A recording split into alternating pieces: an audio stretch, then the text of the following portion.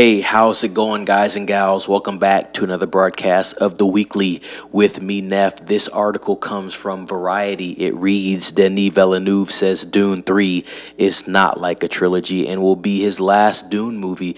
Other directors could take over, so I'm not closing the door on the franchise. Let's read a little more. Denis Villeneuve appeared on Vanity Fair's Little Gold Men podcast and stressed that an upcoming third Dune movie based on Frank Herbert's novel Dune Messiah is not being developed as the completion of a trilogy in his eyes. Legendary confirmed in April that development on Dune 3 was underway following the blockbuster success of Dune Part 2, which grossed $711 million worldwide earlier this year. And I must say, side note, my favorite movie of the year so far, my highest rated movie of the year so far. And to really summarize what's being said here, Denis just says that the first two movies were an adaptation of the first book. Let me read a little into it. It was really a pair of movies that will be the adaptation of the first book that's done and that's finished. If I do a third one, which is in the writing process, it's not like a trilogy. It's strange to say that, but if I go back there, it's to do something that feels different and has its own identity.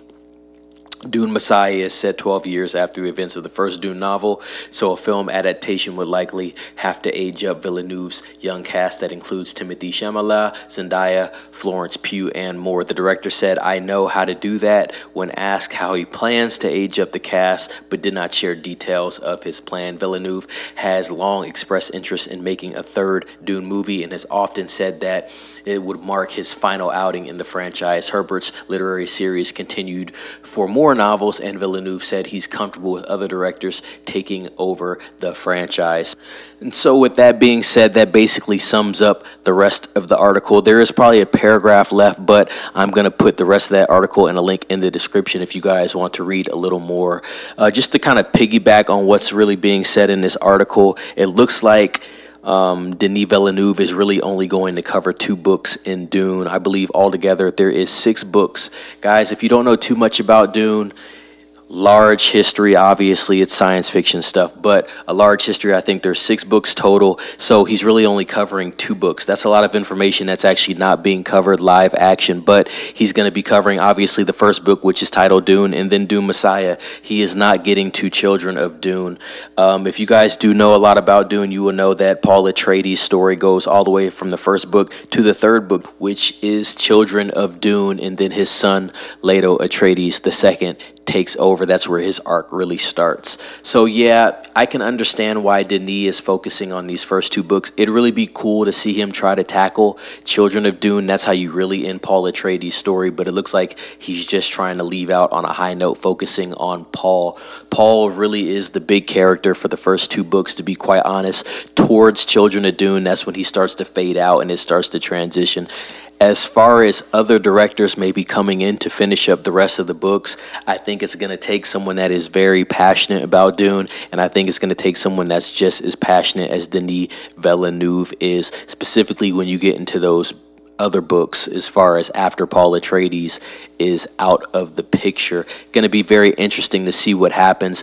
I, I, wonder if anybody even tries to even follow up Denis Villeneuve. He has set the bar pretty high. One thing about Dune that's pretty cool is the movies are such great quality. It's going to kind of suck to see them end off with this last film. It's been quite a cool ride seeing the first Dune, obviously, and then uh, Dune Part 2, and then they're going to be going into Messiah, which is going to be an interesting take on the rest of the story because I think really Dune Part 2 when I'm talking Doom Part 2, I'm talking about the cinematic Dune live adaptation that we've gotten recently this year.